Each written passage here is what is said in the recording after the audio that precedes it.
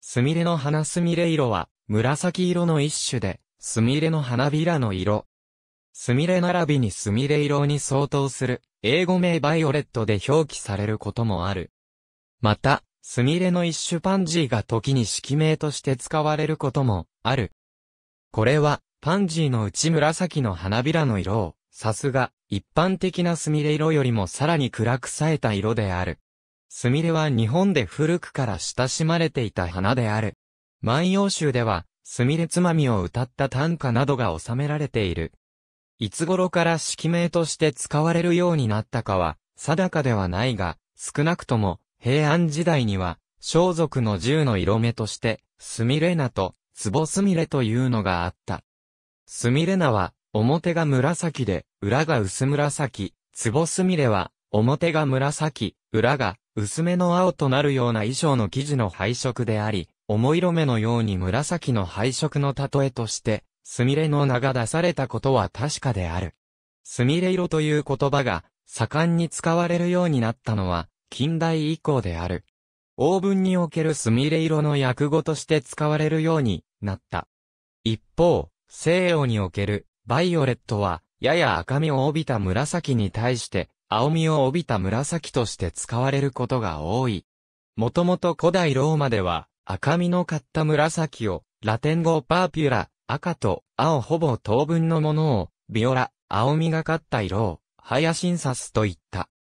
そのうちハヤシンサスは紫を表す、一般的な色名としては使われなくなり、特にパーピュラの染色が貴重なものであったため、パーピュラの方が紫の代表名となり、英語では、これが、語源のパープルが、標準式名となった。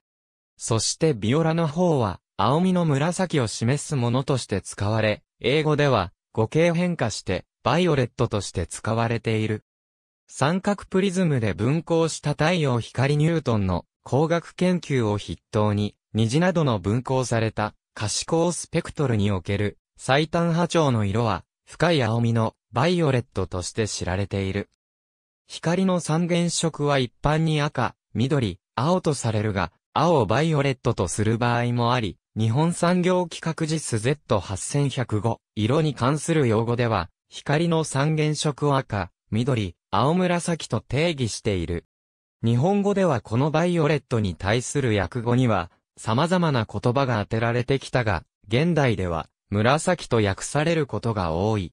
この、紫は、パープルと混同されることもあるが、ニュートンは、スミレと紫を区別していた。同様に、可視光外の短い波長域のことを現在では、紫外線と呼ぶが、古くはこれを、当外線と呼んだ。スミレの字がこうした用語に使われなくなった理由は、定かでないが、常用漢字でないことが指摘されている。なお、このバイオレットよりも赤みであるパープルは、単色光としては存在せず、青紫光と赤色光の下方根色により知覚される。